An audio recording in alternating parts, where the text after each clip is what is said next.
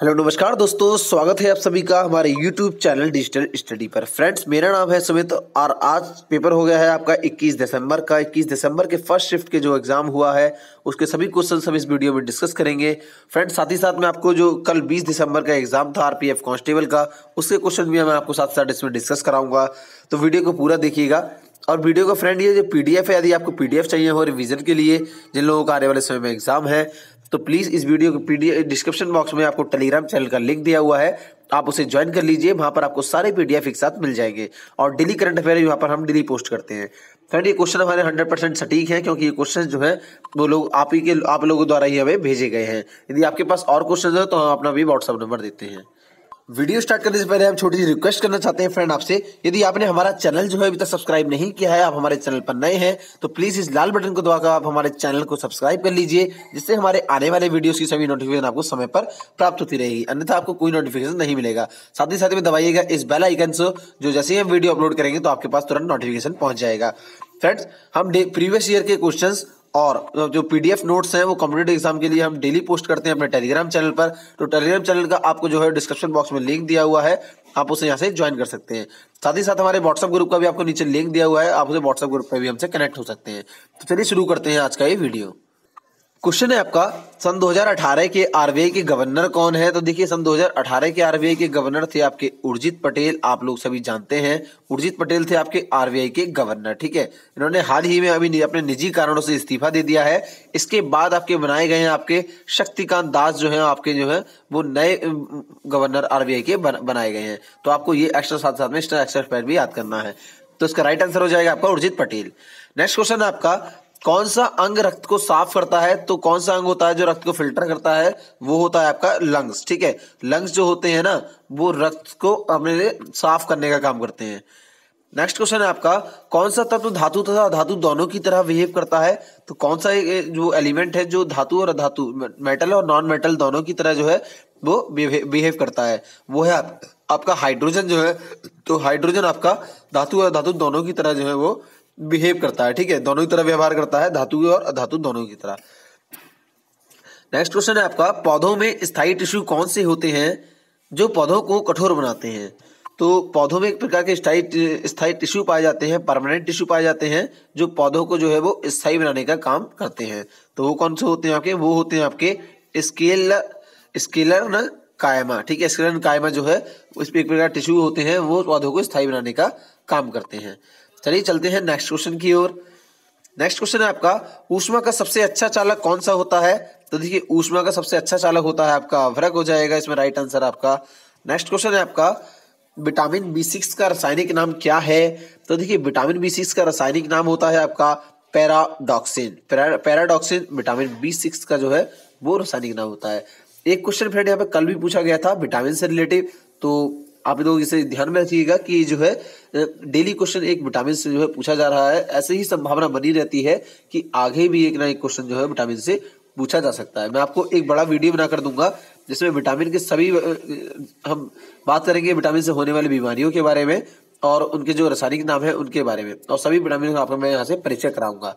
तो चैनल को सब्सक्राइब ज़रूर कीजिएगा फ्रेंड नेक्स्ट है आपका, बल्ब का फिलामेंट जो है वो किस तत्व का बना हुआ होता है? तो बल्ब का जो फिलामेंट होता है ना, वो बना हुआ होता है आपका टंगस्टन का, ठीक है? टंगस्टन का बना हुआ होता है बल्ब का फिलामेंट नेक्स्ट क्वेश्चन है आपका, यूरोपीय यूनियन की मुद्रा का नाम क्या है? तो देखिए, यूरोपीय यूनियन की मुद्रा है आपका यूरो। यूरोपीय से बना है यूरो, ठीक है? तो यूरो वहीं पर चलता है, यूरोपीय यूनियन की मुद्रा है, ठीक है? करेंसी का है यूरोपीय यूनियन की यूरो। 2017 स्नूकर खेल में पद्म विभूषण किसने जीता है? प्रिंट मिस्टेक है फ्रेंड यहाँ पर पद्म विभूषण किसने जीता है? तो ये जीता है आपका, पंकज ने जीता है। ये एक स्नूकर के खिलाड़ी है, ठीक है? तो इसमें राइट आंसर हो जाएगा आपका पंकज। सन 2017 का जो स्नूकर में पद्म विभूषण जीता था, वो पंकज जी ने जीता था। नेक्स्ट क्वेश्चन है आपका, भारत की इकोनॉमी जो है, वो वर्ल्ड की कौन से नंबर की अर्थव्यवस्था है? तो देखिए दुनिया की मज़बूत अर्थव्यवस्थाओं में से भारत की अर्थव्यवस्था जो है, वो छठे स्थान पर है। और अभी हाल ही में जो है इन्होंने फ्रांस की अर्थव्यवस्था को भारत ने पछाड़कर और सिक्सवा स्थान जो है वो हासिल किया है। इससे पहले भारत जो है वो सातवें स्थान पर था, एक स्थान बढ़कर अब जो है वो भारत छठे स्थान पर आ गया है, ठीक है? नेक्स्ट क्वेश्चन है आपका अंडरवर्ल्ड चेस चैंपियन कौन है? तो अंडरवर्ल्ड चेस चैंपियन है आपके वेलेटिना गुलोवाको ये इनका नाम है किसी पर्सन का वेलेटिना गुलोवाको ये अंडर ट्वेंटी वर्ल्ड चैंपियनशिप की चेस चैंपियन है, ठीक है? नेक्स्ट क्वेश्चन है आपका, गोवर्धन योजना किस राज्य सरकार ने शुरू किया है? तो इसके बारे में आपको कई बार बता चुका हूँ। देखिए, गायों से रिलेटिव योजना जितनी भी है, वो सब हरियाणा राज्य ने है वो शुरू की है, ठीक है? तो गोवर्धन योजना किसकी है? वो है आपका हरियाणा राज्य की, ठीक है? नेक्स्ट क्वेश्चन है आपका, मैग्नीशियम धातु का निष्कर्षण मुख्य रूप से किस धातु से किया जाता है? तो मैग्नीशियम धातु का जो निष्कर्षण होता है, उसको साफ़ करने का कौन कार्य करता है? किस, कौन सी धातु उपयोग में लाई जाती है? वो लाया जाता है आपका कैरनालाइट कैरनालाइट ने जो है, एक अयस्क है इसका जो इसके निष्कर्षण के रूप में मुख्य रूप से यूज़ किया जाता है। नेक्स्ट क्वेश्चन है आपका, सबसे पहले आवर्त सारणी का निर्माण किसने किया था? तो we are all know Mendeleev ने सबसे पहले जो है वो आवर्त सारणी बनाई थी। मैंडलीफ ने तर्क दिए थे, इसके बाद कई सारे वैज्ञानिक और आए, उन्होंने आवर्त सारणी में संशोधन किया और आज के दौर में जो चलता है, वो है आपका आधुनिक आवर्त सारणी। नेक्स्ट क्वेश्चन है आपका, सूर्य की ऊर्जा पृथ्वी तक किस माध्यम से आती है? तो सूर्य की ऊर्जा पृथ्वी तक जो है वो विकरण के माध्यम से आती है, ठीक है? विकरण के माध्यम से सूर्य अपनी ऊर्जा जो है वो पृथ्वी तक पहुँच पाती है। फ्रेंड्स यहाँ पर यदि आपने हमारा चैनल जो है अभी तक सब्सक्राइब नहीं किया है तो प्लीज़ आपसे एक बार फिर रिक्वेस्ट है, यही आप लोगों का हमारे लिए सपोर्ट होता है फ्रेंड हम आपके लिए इतनी मेहनत करते हैं तो केवल आप यहाँ पर हमें सब्सक्राइब का बटन दबा दीजिए। इससे फ्रेंड्स आपका ये सपोर्ट होता है हमारे लिए, और ये बिल्कुल फ्री है तो इसमें आपका कोई भी चार्ज नहीं लगता है तो आप हमें हेल्प कीजिए फ्रेंड हमारे चैनल को सब्सक्राइब करके। और साथ ही साथ फ्रेंड जिन लोगों का आज एग्ज़ाम है, और आने वाले समय में एग्ज़ाम है तो उन्हें पीडीएफ नोट्स और प्रीवियस ईयर के क्वेश्चन जानने के लिए हमारे आप व्हाट्सएप ग्रुप को ज्वाइन कर लीजिए। और यदि आपके पास कुछ क्वेश्चन है तो आप हमें इस व्हाट्सएप ग्रुप पर आप हमें सेंड कर सकते हैं आप ज्वाइन करने के बाद। चलिए, देखते हैं कुछ और क्वेश्चन और नेक्स्ट क्वेश्चन इज़ पादप वृद्धि अनुपावन के साथ किस वैज्ञानिक का नाम जुड़ा हुआ है? मतलब पादप वृद्धि अनुमापन जो है, वो किसने जो है उसे, उसका, किस वैज्ञानिक ने जो है, उस पर रिसर्च किया था? तो वो जुड़ा हुआ है आपका जे सी बोस के नाम है ठीक है? जे सी बोस एक वैज्ञानिक थे, इनके नाम से जुड़ा हुआ है पादप वृद्धि अनुमापन का, ठीक है? नेक्स्ट क्वेश्चन है आपका, मानव शरीर में तामा धातु की मात्रा में वृद्धि होने से कौन सी घातक बीमारी होती है? तो देखिए, ये पूछा गया था क्वेश्चन आज, ये थोड़ा मॉडरेट लेवल का प्रश्न था आपका आरपीएफ कांस्टेबल से लेकर, ठीक है? तो ये आपका जो बीमारी होती है, आपकी बिल्सन नाम की बीमारी होती है आपका, जो तामा की शरीर तामा की मात्रा शरीर में बढ़ जाने पर जो है, वो ये घातक बीमारी होती है। नेक्स्ट क्वेश्चन है आपका रवीस के टीके की खोज किसने की थी? तो देखिए रवीस के टीके की खोज की थी आपका लुइस पास्चर ने। ये मैं आपको कई बार बता चुका हूँ, बहुत सिंपल सा क्वेश्चन है। इसमें कुछ आपको करना नहीं था, ज़्यादातर लोगों ने आंसर बिल्कुल सही दिया होगा। नेक्स्ट क्वेश्चन है आपका, भारत के रक्षा मंत्री कौन है? तो इतना सिंपल क्वेश्चन था आपका, ये जीएस से रिलेटेड करंट अफेयर से रिलेटेड क्वेश्चन था। तो भारत के रक्षा मंत्री सभी जानते हैं, निर्मला सीतारमण है भारत की रक्षा मंत्री नेक्स्ट क्वेश्चन है आपका, ऊतक के अध्ययन को क्या कहते हैं? तो ऊतक के अध्ययन को कहते हैं आपको हिस्ट्रोलॉजी ठीक है? हिस्ट्रोलॉजी कहते हैं ऊतक के अध्ययन को, ठीक है? नेक्स्ट क्वेश्चन है आपका एल्किन का फॉर्मूला पूछा था। एल्केन का फॉर्मूला होता है आपका C N H two N ठीक है? C N H two N जो है, वो एल्कीन का फॉर्मूला होता है। तो ये आरपीएफ कांस्टेबल के एग्ज़ाम में आज का पूछा गया था। और जिन लोगों का फ्रेंड एस आई का एग्ज़ाम है, आने वाले समय में या आज वाला जो एग्ज़ाम है, उसका एनालिसिस हम बहुत जल्दी आपको देने वाले हैं। तो चैनल को सब्सक्राइब कीजिए। हम आपको एनालिसिस थोड़ी देर में आपको प्रोवाइड करा देंगे। नेक्स्ट क्वेश्चन है आपका, मानव शरीर का सबसे बड़ा अंग कौन सा है? तो सबसे बड़ा अंग सभी जानते हैं। वी आर ऑल नो यकृत होता है। सबसे बड़ा अंग मानव शरीर का। तो फ्रेंड ये थे आज के कुछ मोस्ट इंपोर्टेंट क्वेश्चंस जो कि पूछे गए थे 21 दिसंबर के एग्ज़ाम में फ़र्स्ट शिफ्ट में, ठीक है? अब फ्रेंड जिन लोगों का कल को एग्ज़ाम है 22 दिसंबर को वीडियो का और आपका आरपीएफ का एग्ज़ाम है आरपीएफ एसआई का एग्ज़ाम है और क्या नाम है आपका वीडियो का एग्ज़ाम है आपका फ़र्स्ट और सेकंड शिफ्ट का।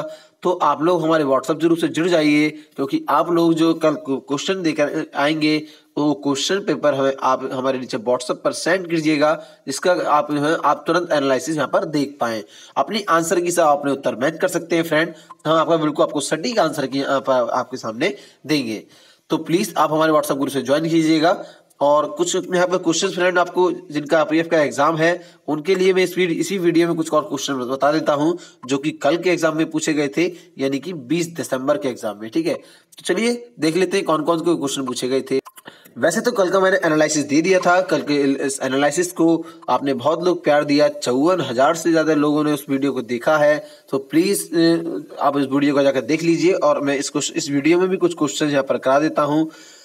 क्वेश्चन पूछा गया था, कल राष्ट्रमंडल खेल 2022 कहाँ पर आयोजित होंगे? ये होगा था बर्गेन इंग्लैंड में आयोजित होंगे।